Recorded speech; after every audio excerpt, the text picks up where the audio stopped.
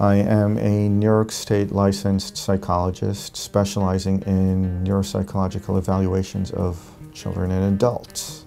The reason for the neuropsychological evaluation is really to gain a much more thorough understanding of your areas of weakness, your areas of strength, to determine specifically how it impacts you. What are the specific interventions that you could benefit from as a result? And that is exactly what the neuropsychological evaluation does, a very detailed profile of who you are, what you're like, and what your needs are based on the test results. The environment that I try to create is one that is caring, compassionate, and comfortable. I like to view people as coming after they've seen everyone else they've finally found a neuropsychologist.